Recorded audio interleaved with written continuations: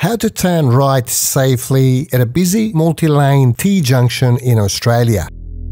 Clearly we have a stop sign here. You've got to stop completely. Now we have to give way to any turning traffic from the left, such as that red little hatchback from the left hand side.